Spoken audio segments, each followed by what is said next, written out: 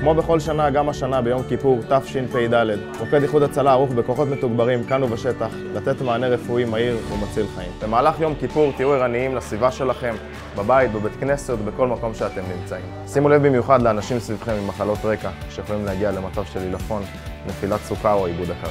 אנשים עם מחלות אשר הותר להם לשתות בשיעורים, יש להקפיד שהם אכן עושים כך.